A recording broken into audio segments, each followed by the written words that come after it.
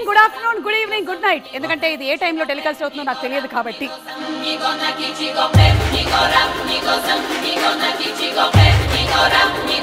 One of my best experiences. Yeah. no, no.